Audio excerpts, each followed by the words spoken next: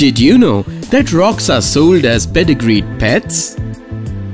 Zero lies, full facts. This is FUFA. Almost everyone loves the idea of keeping a pet, but hates the maintenance it demands, unless it happens to be a rock.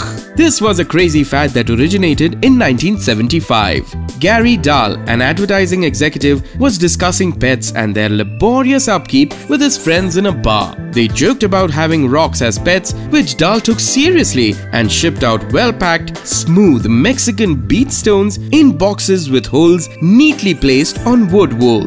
What was funnier was the instruction manual that accompanied the rock for its care and training. Dahl sold around 1.5 million pet rocks for about $4 a piece and made himself a millionaire. Gifting pet rocks hit its peak during the Christmas of 1975, following which the product fizzled out only to reappear in 2012, proving that the world is still off its rockers. For more such facts, like, share, subscribe and of course share your favorite FUFAs with us in our comment section.